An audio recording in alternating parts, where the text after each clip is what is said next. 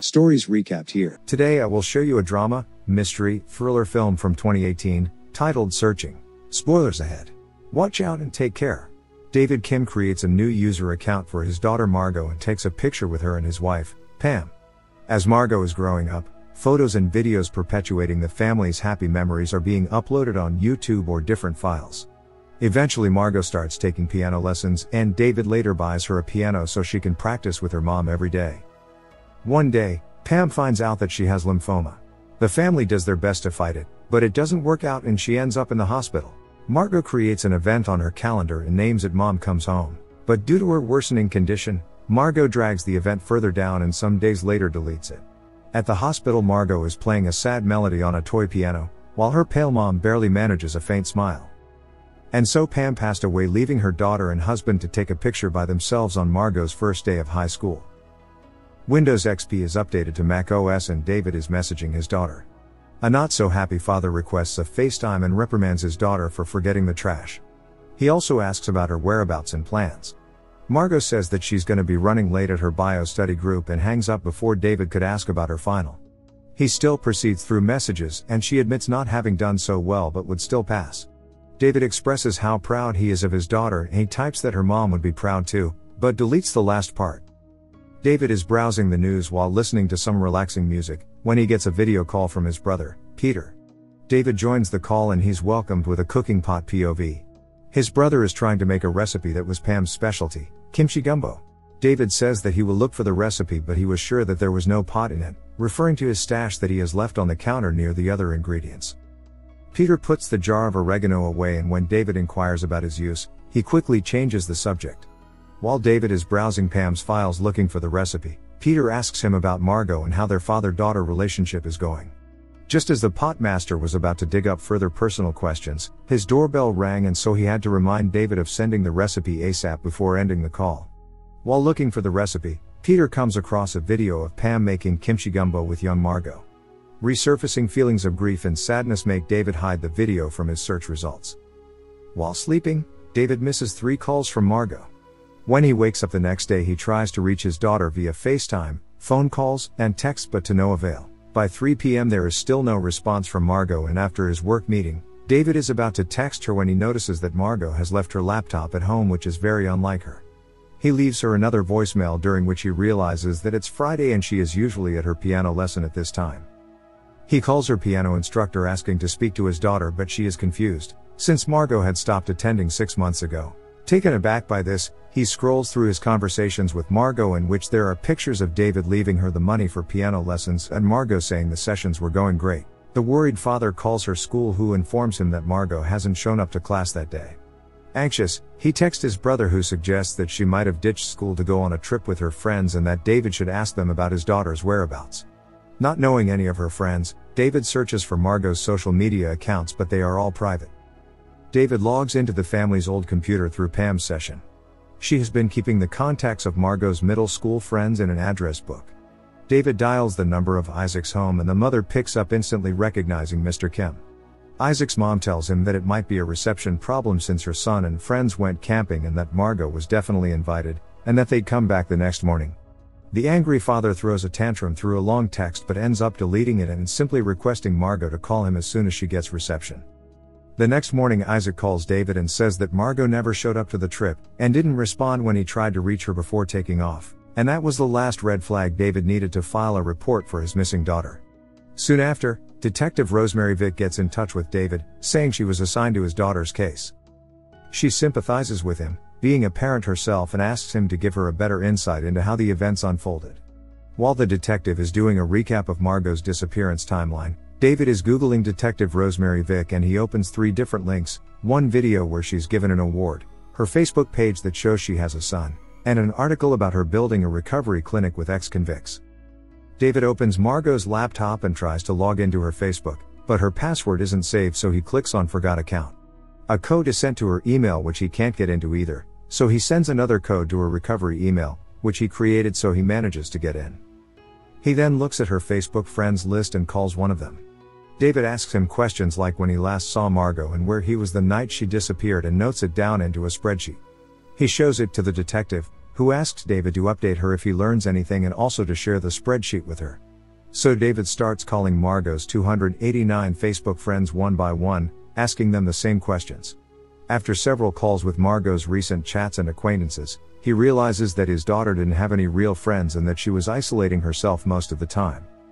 After going through two thirds of her friends' list without learning anything useful, David voices his frustrations to Peter, who suggests taking a look at her offline friends and activities. David looks through her school files and contacts Abigail, the girl who hosted the study group at her house that night. She says that it ended by 9 p.m. and Margot had left by that time. She also enforces the fact that Margot was a loner and used Tumblr a lot. Just as he is checking it, he receives an email from the detective who shares traffic footage of Margot filling up her gas and exiting town. He notes down the place on Google Maps. David checks Margot's bank account and he notices that she has been depositing the piano lesson money there. Six days prior, she made $2,500 payment to a deleted user via Venmo. He checks her Instagram account and notices a user called Derek Ellis constantly posting inappropriate comments on his daughter's pictures. He looks up his number and asks him about his whereabouts the night Margot went missing. He tries to dodge the question, but when David threatens to get the police involved, he admits that he was at a Bieber concert. Detective Vick sends David an email containing a fake ID, saying that Margot met up with a forger around the same time she withdrew the money. The detective spoke to security at Venmo and apparently she sent the $2,500 to herself so it can't be traced, and suggests that Margot probably ran away. David refuses to accept that possibility and continues his own investigation. He goes through Margot's most visited websites and finds a streaming website called YouCast. Not knowing how the site exactly works, he clicks on Cast Now and ends up starting a live stream.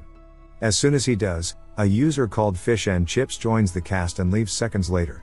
David ends the stream and starts looking through Margot's saved live streams. Margot had few watchers but her regular was Fish and Chips who initially asked her favorite Pokemon to which she responded with Uxie, because it can wipe memories. They talked almost every day and Fish and Chips once opened up about her struggles with money to pay her mom's hospital bills as she has a bad tumor. Afterward, David has a call with Detective Vick who denies any of the YouCast members having a connection with Margot's disappearance, even Fish and Chips had an alibi, confirmed by her diner manager and CCTV footage. Just before shutting down Margot's computer, David notices a picture of a lake. He goes on her Tumblr and sees another picture of the same lake. He finds it on Google Maps and realizes where she was going that night. He rushes to the lake and calls the detective, but she's asleep because it's 4 a.m. A bit later she calls him back and David shows her Margot's Pokemon keychain he found by the lake. The following morning Margot's case is all over the news. Her car was retrieved from the lake, but Margot wasn't in it. People are volunteering to search for Margot in the forest since there's a lot of ground to cover. The search gets halted due to heavy rain and the internet is flooded with articles and videos about Margot from people blaming her father for negligence to her classmates pretending they were best friends for clout. Frustrated by Derek's Facebook post, David goes to meet him and beats him up. This causes Vick to cut him off from the investigation. David comes across a subreddit dedicated to the case where a bunch of Reddit detectives share their theories. He finds pictures from the car and he notices a Finn's hockey hoodie in the front seat. This leads David through Margot's chats with his brother. To his surprise, Peter and his nephew were secretly meeting on several nights, and he finds some highly suspicious messages. He starts writing an email to Vick, but changes his mind. Instead, he goes to his brother's house and plants cameras. He then starts asking Peter about Margot, what kind of relationship they had and how often they would meet. Disturbed Peter replies that it was a normal uncle nephew relationship and that they didn't meet often. He shrugged off further questions as he went back to finish making the tea.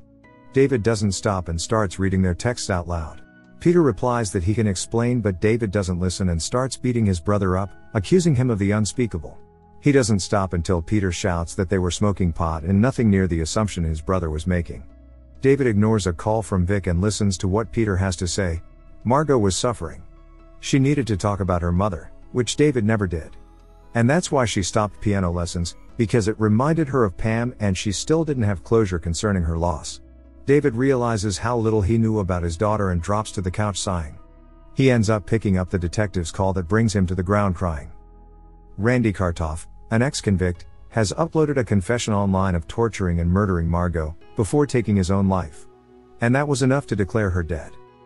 David starts uploading pictures for a memorial service and when he's done, a thank you page appears with a picture of a woman holding flowers. David realizes that it's the same woman that appeared on Margot's live streams under the name Fish and Chips. He searches the profile picture on Google and finds a bunch of pictures of her doing various things. He doesn't realize that Margot was catfished and that the woman in the profile picture is just an actor for stock photos kinda like Ma Boy Harold, so he tracks down her number and calls her. She seems clueless about the streaming website and all the details that the detective presumably checked out. David tries to reach Vick but she doesn't pick up. He then reaches out to the 911 dispatcher who couldn't connect him to Vick directly, yet she praises Vick's volunteering for the case.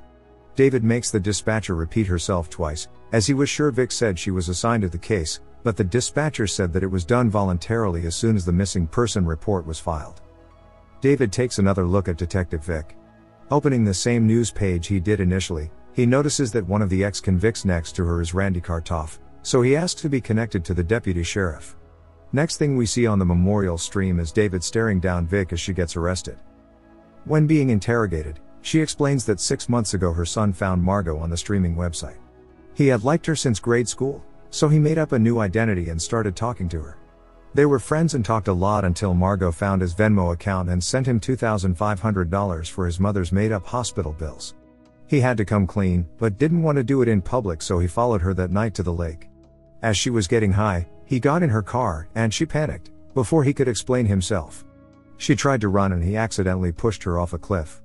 Vick assumed that Margot was dead because the cliff was narrow, jagged, and at least 50 feet to the rock bottom and she couldn't hear a sound. So she took lead of the investigation, convinced David that Margot ran away and told the law enforcement team that the zone her body was in was already cleared. She still needed a confession so she drugged the ex-con, ordered him to read a script and shot him afterwards. Now knowing her location, a team has been dispatched to retrieve Margot. Turns out she is still alive and makes a full recovery. Sometime later, Margot is continuously refreshing her application for the music conservatory while texting her father. She's come to have closure concerning her mother's death and is ready to take back her piano passion. Her father, on the other hand, is no longer reluctant about bringing up Pam, and while telling Margot that he's proud of her, he sends the text that he deleted at the beginning of the movie, that her mom would be proud too. The end. Thank you for watching. Subscribe if you'd like to see more videos like this.